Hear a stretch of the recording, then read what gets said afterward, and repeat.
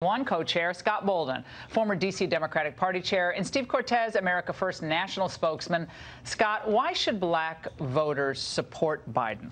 Well, he's super qualified, one. Two, he's got the long-term connection with Obama, and whether Obama's walking through that presidential door or not, he's got that connection. He's wrapping himself in it.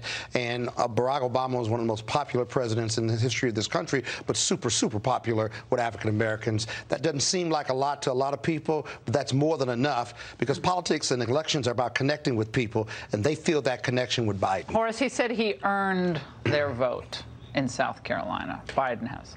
Well, a couple times he said he earned it, and a couple times he said they owed him. He was a little bit confused about it all. What's really clear is I haven't seen anything over the last four years that he has done that is particularly helpful to the interests of black America. He goes to the one state with the largest percentage of blacks so far in this lineup, and then essentially says it's you have to decide if I get to go forward or not. And that's what this is really about. How, Does he how, get to go how forward? How do you explain why he's, on a national level, as well as South Carolina, he continues to lead in the polls, one, but leading the well, polls in regard Obama to African Americans? I think the, I mean, this is why he kept Good or going bad, back right. to it mm-hmm. every Every debate. That's all he's got, though. Well, every That's chance he's got. Okay, well, but- Steve, hold on. I want to get to Steve on this because you look at the numbers tonight where they are in South Carolina. Biden's still up, but not by as much among African Americans, but still up.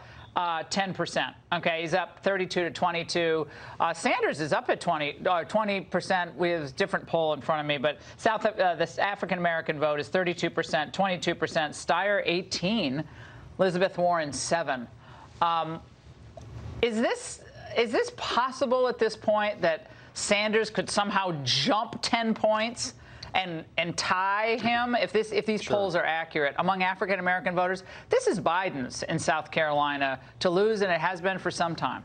Well, we would assume. But look, uh, is it possible, Laura? I think yes. But this is, I think, the important takeaway, particularly for someone like me who's trying to reelect the president from this debate tonight. Normally, winning presidential messaging is about optimism on America, hope and mm. change, make America great again, morning in America. What we heard described tonight was a racist, dystopian hellscape that America is by all of these candidates. I can't believe how much I've never seen so much pandering from a bunch of rich, rich elite whites toward minorities as we saw tonight. Uh, so whatever happens in South Carolina, they are dooming themselves for the election in November. Uh, because, by the way, the America that they described, one thing that really you know crossed my mind as an Hispanic, the America they described, why are there millions, tens of millions of people around the world, most of them not white, clamoring to get to this country uh, mm. if we if we are yeah, the apartheid South Africa that they yeah. describe?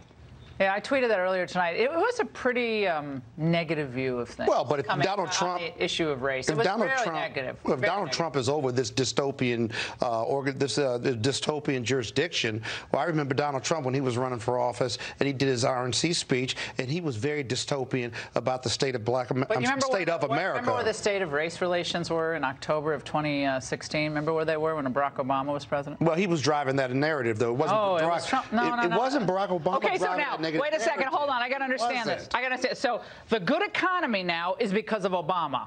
And when Obama was president and race relations went down at the end of his term, that was because of Trump. God, well, Trump, wasn't black Trump people heads, driving wins, that tails, narrative? And I didn't say Obama, Barack Obama had a great economy. He turned over a great economy to Donald Trump, but he inherited an awful yeah. economy from from Bush too. But so you've got to concede that. But we had an African American president for 8 mm-hmm. years, yeah, right? And there During were a lot of white America. And white America, many portions of white and voted hated. for him. They did. Voted for him. If it weren't for if it weren't for those voters, he wouldn't have become but the president. Trump voters hated Barack Obama. Not because he's black. They didn't like the policy. Scott, wait, wait, Scott, wait, wait. Some of the Trump voters, it may not have all been, hold on. voters It may not have all been raced. Hold on. Some of the but there were large voters portions had of Trump voters. for Obama before. I agree with you. Yeah. I didn't say it was all race based, but there's segments of his voters that it is race based. There was some it guy is. on Twitter talking about everything. how Yeah. he and the Klan were supporting Hillary Clinton. That doesn't mean anything. Scott, Yeah, that that is Bernie demonstrably Sanders- No, no, no. Yeah, go ahead, But watch this. That, that is Hold on. demonstrably Look at his false rallies. because that is demonstrably Yeah, I- false. The yeah, voters who made the difference in the upper Midwest, who switched parties, who either hadn't voted or had voted for Barack Obama, mm-hmm. and then voted voted for Donald Trump, for you to call those voters racist is ludicrous and Well, factually didn't do it. I didn't do that. true. I Well, I Biden. did not do it. I said Well, there was a the portion of his supporters There's a portion that were of based on the race. Okay, there's a portion of. Obama's voters who are probably sympathetic Okay, to but we're talking communist ideas. Trump. I mean, Well, but the point is, you can do that with any group of, of voters. There's always some bad apples. So that what? doesn't prove anything. Hold on, guys. Hold on, hold on. I'm going to control this panel, unlike the moderators tonight. All right, Steve. Here was Biden tonight on housing. Right now, if you live in a black neighborhood and you have the same exact house as the guy across the street in a white neighborhood has, your house is valued significantly less than the white. The same exact house. We've got to deal with the institutional Thank you, Mr. racism. Vice President. Mr. Vice I know how you cut me off all the time, but I'm not going to be quiet Let me- anymore. I'm not be quiet anymore. Okay, Horace. There was a lot of talk about institutional racism in a country like ours, where we have seen historic gains for people across every ethnic and racial line, um, especially over the past three years. I mean, I think you know you have to say the economy improved under Obama for sure, under that horrible situation he inherited in, and got somewhat better. But it's gotten a lot better over the past three years, and for everyone, thank goodness. But doesn't sound like it tonight. What blacks in South Carolina are interested in is how many of them can buy a new car? How many of them are going to get a better job? How many of them are going to be able to do those kinds of things that they've wanted to do? Expand the house, put in a new bathroom. If you offer that as an agenda, you'll get their support. If you tell us that you want to throw all of this out with all of this crazy mm. Democrat socialism, guess what?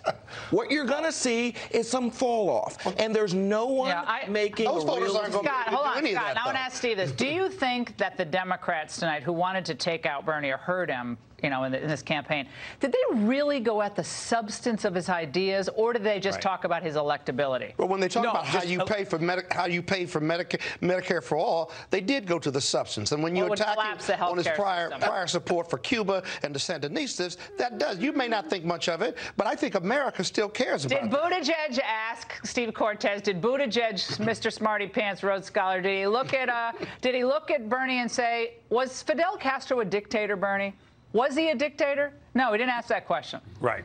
Right. No, exactly. Because he didn't want to get to the substance. Instead, what did they do? They race baited all night. And I think the reason they did that is they are trying to spread fear among minorities Yeah. because they don't want to talk about the reality, which is that this economy is thriving for minorities in America right now. It's not just my opinion, it's theirs. All right, 49% economic approval by Gallup Wages are among growing minorities. now.